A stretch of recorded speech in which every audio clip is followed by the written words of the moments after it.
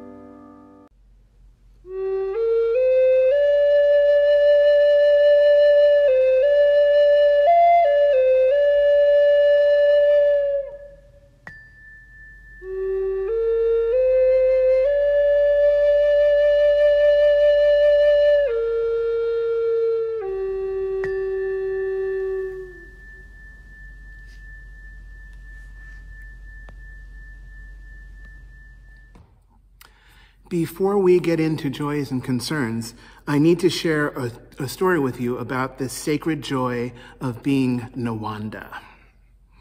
Uh, do you know who Nuwanda is? Here's a hint. There was a, a red lightning bolt emblazoned upon his chest.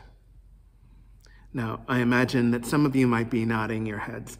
Nuwanda was the secret Dead Poet Society code name for a young man named uh, Charles Dalton. He was a good man, a good student at a stuffy New England prep school. Uh, are, you, are you familiar with the film uh, Dead Poets Society? Uh, it's one of my favorites. Ethan Hawke, Robin Williams. Uh, it's a great one to watch during this lovely lockdown that we're having. So, uh, with more humor than was advantageous for him, Dalton, uh, Charles Dalton, this Nuwanda character, resisted institutional authority with all of his might.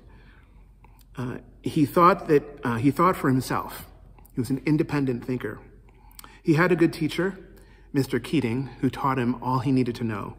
Keating uh, had led a poetry class, and he took his poetry class outside, and he was marching his students around the courtyard, having them sing, chanting responsively, I don't know, but I've been told, I don't know, but I've been told, doing poetry is cold, doing poetry is cold, left, left, left, right, left, halt, he said. Thank you, gentlemen. If you've noticed, when we started off, we were all on our own stride. We were all walking at our own pace. Uh, Mr. Keating was trying to demonstrate the pressures of conformity. He continued, the difficulty of maintaining your own beliefs in the face of others. We all have the need for acceptance, but you must trust that your beliefs are unique and your own. Even though others may think them odd or unpopular. Robert Frost said, Two roads diverged in a yellow wood, and I took the one less traveled by, and that has made all of the difference. I want you to find your own walk right now, your own way of striding, pacing, any direction, anything you want, whether it's proud or silly or anything. Charles Dalton or Nuwanda was not participating in the exercise, and Mr. Keating noticed. And he asked, Mr. Dalton, will you be joining us? Okay. Uh, and without getting up, the young man replied, I am exercising the right not to walk.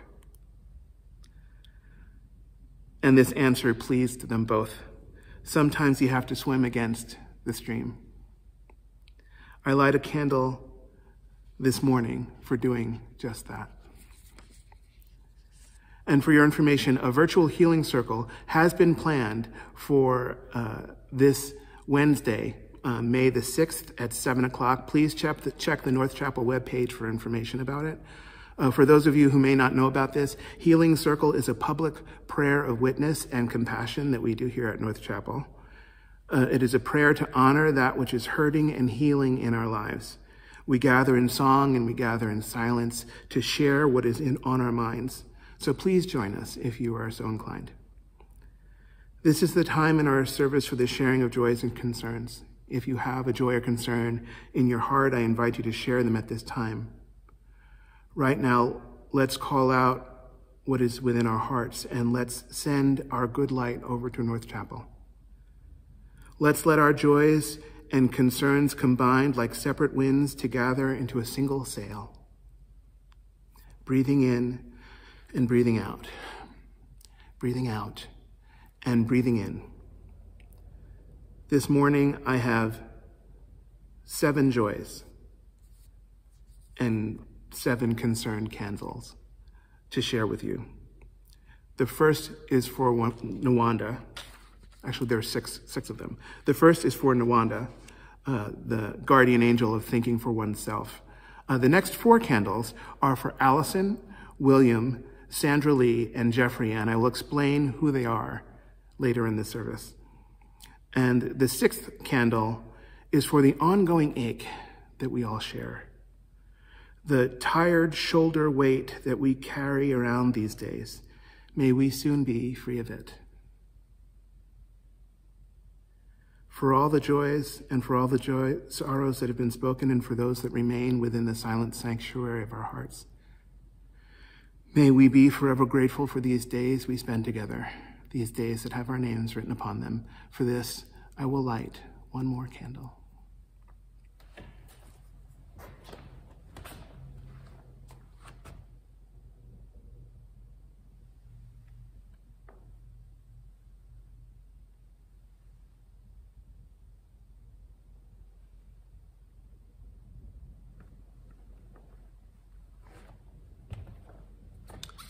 May we hold all of this in compassionate community as we enter a time of meditation and prayerfulness.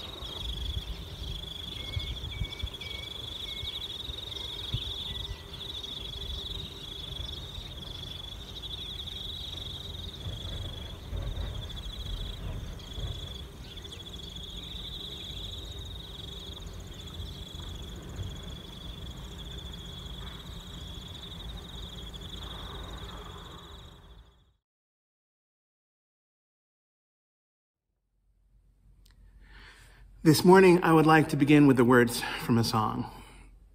Uh, I have quoted these words before. It is poetry from a man named Michael McDonald. It's a piece uh, called Here to Love You. And the words are these. He writes, I've heard it said that the weight of the world's problems is enough to make the ball fall right through space, that it ain't even worth it to live with all that's going wrong. But let me just go down to saying that I'm glad to be here here with all the same pains and laughs that everybody knows. Now, some men think they're born to be king, and maybe that's true. But I think passing love around is all that we were born to do. So let them build their kingdoms. Let them make the laws for this world to heed. because you and I make life worth living right here in each other's arms. I'm here to love you. I love that song. Uh, I'm, I'm, here to love you. Um, the last line always feels kind of Jesus y to me uh, in a mischievous kind of way. Uh, whenever I hear it and wherever I am, I take it in, I breathe it into my core. Uh, it's like a, sep- a secular piece of scripture to me, and just as holy. And at the end, uh, the repeating lines recur. Uh, just let me go on loving you. Don't stop me now when I'm feeling this way. That sounds just like a testament of faith in any tradition. Now, I have a confession to make. Uh, I only ever listened to the first side of that album, the minute by minute album by the Doobie Brothers. There are five songs on the other side of that album that I rarely ever hear. I don't really listen to. I struggle to remember songs like Open Your Eyes or Steamer Lane Breakdown, a Sweet, Sweet Feeling. Uh, one of the songs called Sweet Feeling comes up pretty easily in my memory, but the rest of the songs are kind of lost on me. I don't remember them. I feel guilty about that. I feel bad about that. I, I grew up listening to whole albums at a time. I had an album called Tapestry by Carole King. Uh, I played it on a loop. I had it on an eight track tape, so it was easy. Do you remember eight track tapes? Uh, they were like the ancient dinosaurs of the present day recording industry. Uh, they were big and bulky and cumbersome, and you couldn't really have a big collection of them. Who had the room? Uh, eight track tapes uh, weren't particularly attractive either, so I didn't have a lot of eight track tapes, but the good thing was you could play them in an endless loop. I would listen to Carole King all night long sometimes, and I would go to sleep and the music would play and play. I felt the earth move so far away. It was too late and home again. I was beautiful over yonder. It was good to know I had a friend. Where you lead, I would follow. I loved today and loved tomorrow. All of the songs just flowed and mixed together in my dreams. I was in and out of sleep, but over time I learned the whole album. I learned the album as a whole and I felt really good about it. There was no song on the album that I did not know and love. You learn the, old, you learn the whole album, soup to, soup to nuts. That's the way I always thought you had to do it. And I, I've learned otherwise since. But the first feeling has never gone away. I still feel like I should know the whole thing. So I know the A side of the Doobie Brothers album really well. What a Fool Believes, minute by minute, depending on you, don't stop to watch the wheels and my favorite, Here to Love You. I've memorized the first side of the album, but not the second. I know the A side, but not the flip side. Even though I know for a fact that flip sides are very powerful. Rock Around the Clock by Buddy Holly and the Comets was the B side, one of the most famous songs in all of rock and roll. It was a B side. Can you believe that?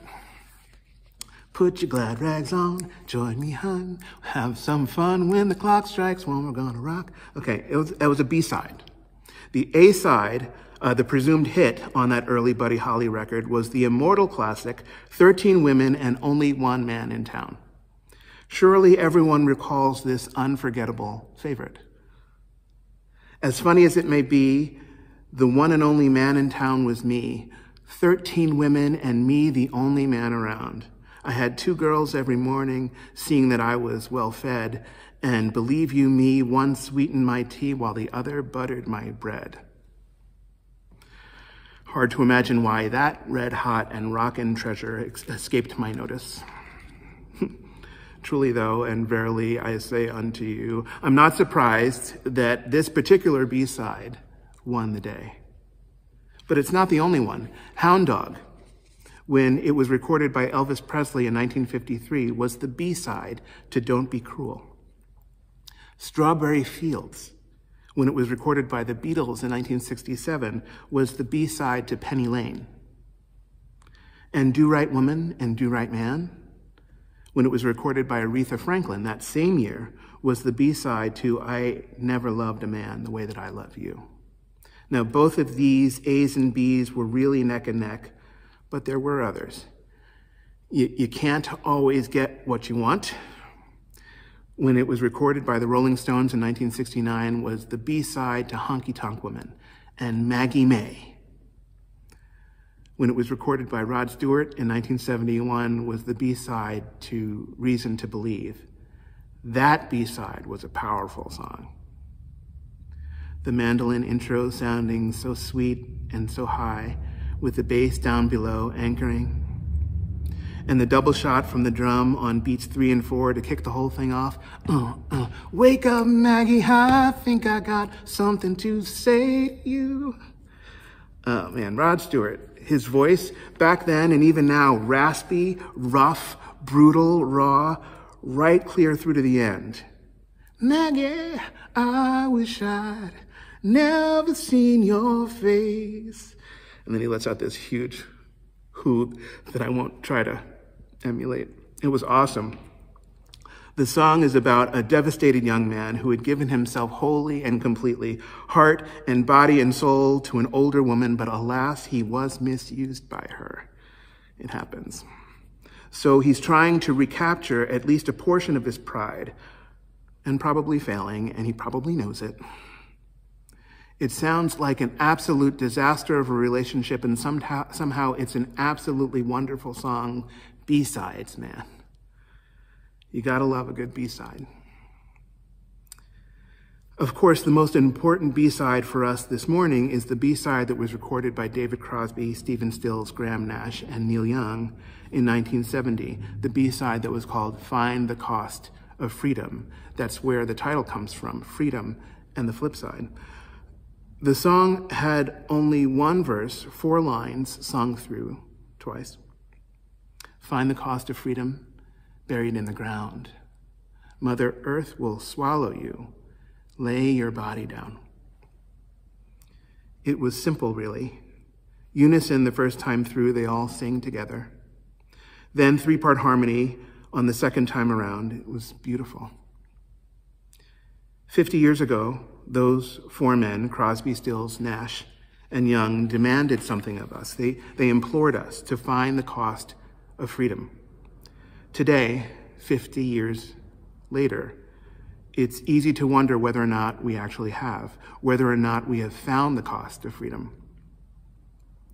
It's strange. In, in 1970, uh, we might not have been able to find the cost of freedom, but we were certainly able to find the cost of incarceration. The Federal Reserve Economic Data Group has made a long-term study of this cost. According to them, the government expenditure for prisons in 1970 was $139 million. The prison system has grown exponentially over the past 50 years. It has grown by approximately 700%. The estimated government expenditure in 2020 is $7.3 billion. That's a lot of VIG. It's a lot of money. That's the cost of prison, but the cost of freedom is both a great deal more than this and absolutely free. Freedom is a great deal more expensive than imprisonment, but its value cannot be measured in dollar signs. You can't count it out in cash. The cost of freedom can only be approximated, given, by, given value by no fine measure, but by the degree to which we appreciate the quality of the lives that we live. Freedom is not a for-profit agency, not in the sense that its revenue can be taxed by the state. To, to calculate the precise economic value of freedom would be a soulless enterprise, and, then, and one that we have done before in the time of American slavery. It was a soulless enterprise then, and it would be a soulless enterprise now. It would be an exercise in futility, biblical in proportion. Jesus, in the Gospel of Matthew, in the parables, asks the question of his disciples. He asks, For what will it profit them if they gain the whole world but forfeit their life or lose their souls? The cost of freedom and the value of our escape from soullessness are one and the same. The cost of freedom and the value of our escape from soullessness is one and the same. There's no amount of money that could ever pay for such a thing. That infinite value, that pricelessness is a spiritual commodity, not a commercial one. It simply cannot be purchased with cash and coin. In fact, it cannot be purchased at all. The soul is not transactional. It is an infinite energy that has been given to us by life's longing for itself. It cannot be taken from us. It can only be given away. Those who want to steal it know full well that it can't be done, so they contrive and they strategize, they conspire and they manipulate. They try their best to convince good people to give their souls away. They try to convince us that, that we are less beautiful than we are. They ask us not to think for ourselves. And when they are successful, we believe them.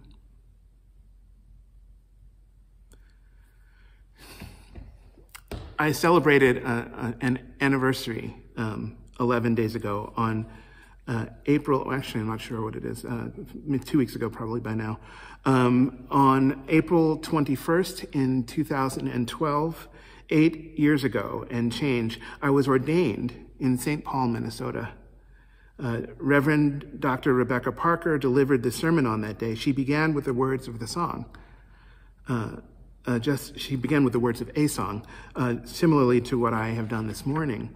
She said, "There were no mirrors in my Nana's house, no mirrors in my Nana's house, and the beauty I saw in everything was in her eyes, like the rising of the sun." The world outside was a magical place. I only knew love. I never knew hate. And the beauty in everything was in her eyes, like the rising of the sun. Dr. Parker said, I begin with these words from Ysaye Barnwell of Sweet Honey and the Rock. She sings of a grandmother whose love enabled a black girl child to know the beauty of the world and the beauty of herself while growing up in material poverty in a world that denied and defied that child's beauty, in a world where then, as now, black children with Skittles in one hand and iced tea in another are hunted down by those who cannot see them. End quote. Black children with Skittles in one hand and iced tea in another. This, of course, is a reference to the tragic murder, murder of Trayvon Martin, a 17 year old African American teenager who was killed in Sanford, Florida, in a terrible act of violence that had taken place just two months before the ordination service. I would like to think that Trayvon Martin's spirit and the love of his good family was with us in the room that day. Reverend Parker continued, she said, at the end of his essay, The Fire Next Time, after exposing the dynamics of racism, the ways in which humanity is beaten down and torn apart by the devastating exploitations of racial injustice. James Baldwin uh, says, quote, the question remains, what shall we do with all of this beauty? Baldwin evokes the persistence and the resilience of beauty in the face. He, uh, he, he, he, Baldwin evokes the face of the holy, shining through human beings, even in the midst of all that we do that defaces one another. Finally, Baldwin's prophetic call is not a call to outrage and pity, which merely demands that the privileged become the paternalistic. It is a call instead to all of us to come together before the sacred altar of beauty and be transformed by the gentle and fierce insistence that that which is lovely not be defiled the gentle and fierce insistence that that which is lovely not be defiled. If you would, please place your hand on your chest and press down. With a gentle and fierce insistence, feel your own heart beating beneath your breastbone. Breathe into its life force, its power and majesty.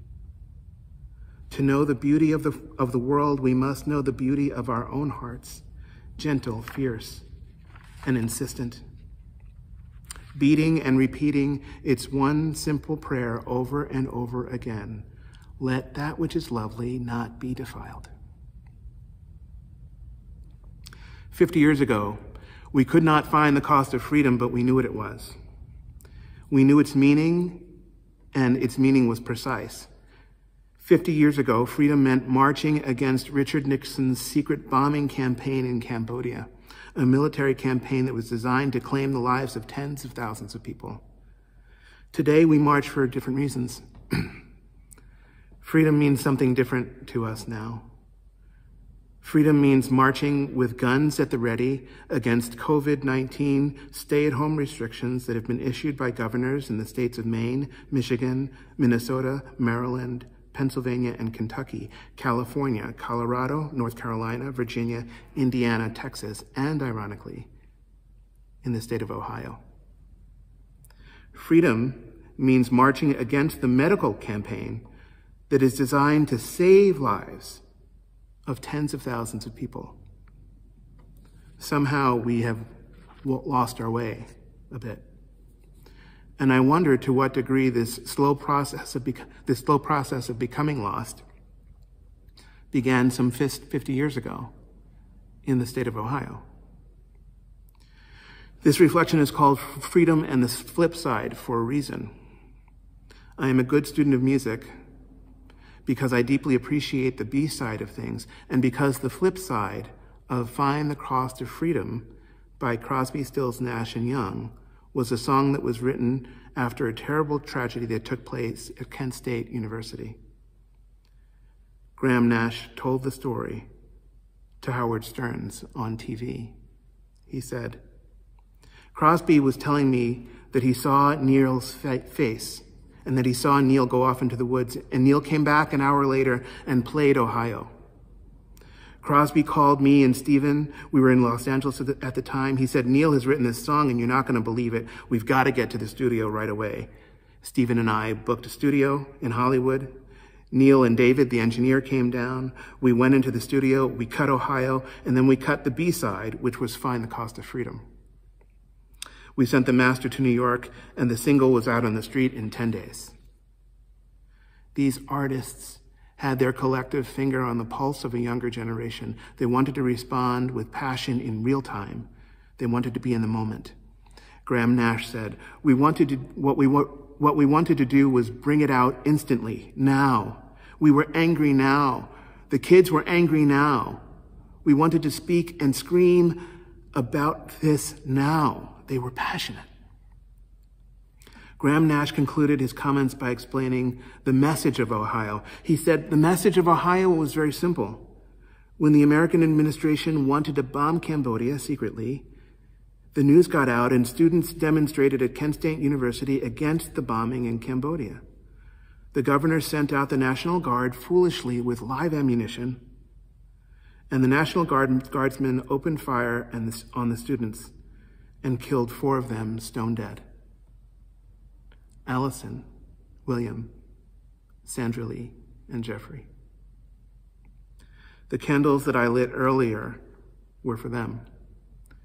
For Allison Krause, who was only 19 years old when she died, for William Schroeder, who was 19 as well, for Sandra Lee Scheuer, and for Jeffrey Miller, who were only 20.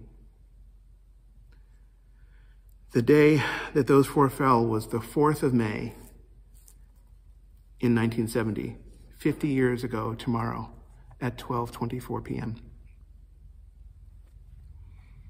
Nash continued talking about the iconic photograph of Miller on the ground and a 14-year-old Mary Ann Vecchio crying over him. It's a famous photo. It was on the cover of Life magazine. It won the Pulitzer Prize in 1971.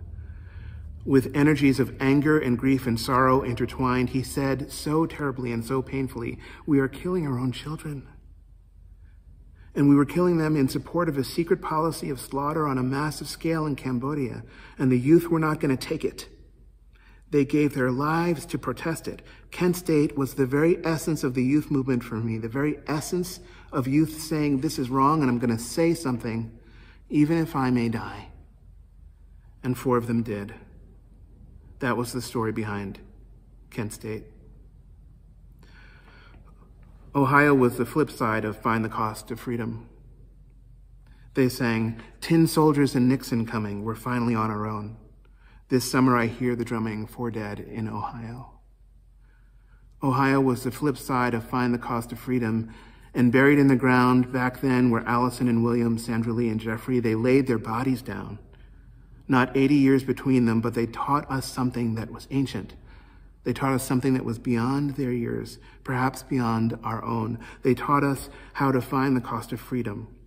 They taught us how to live soulfully, how to give life soulfully, how to think for ourselves, how to walk the path of truth and deepest compassion. Now, it's important for us to remember the power of that time. It's important for us to remember that part of those four young Americans, that part of them that still survives in us 50 years ago. That was a very important time.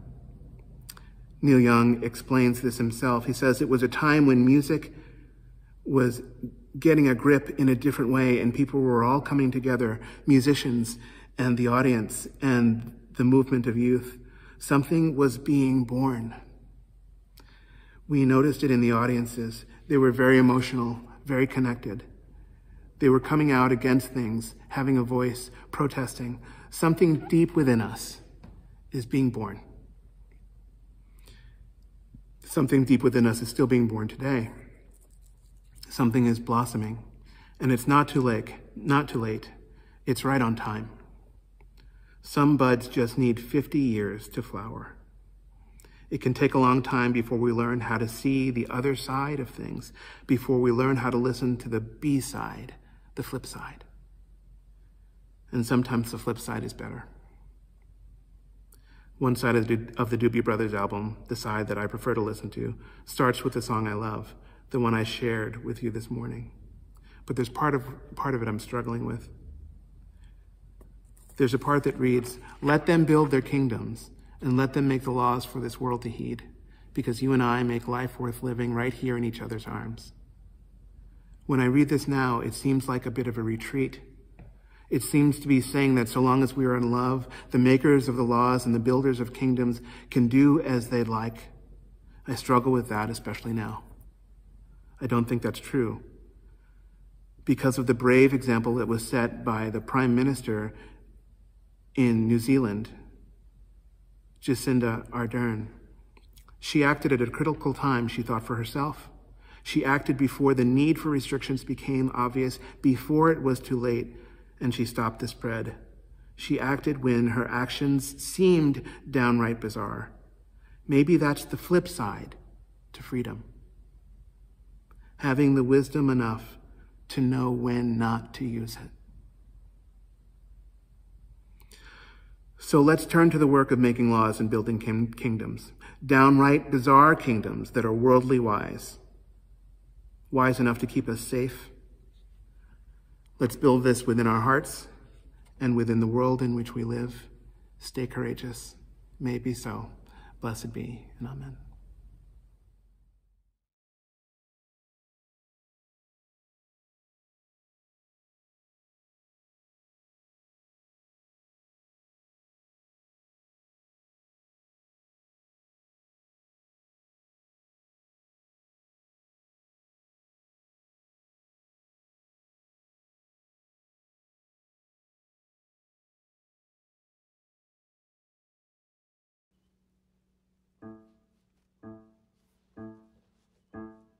Zoom,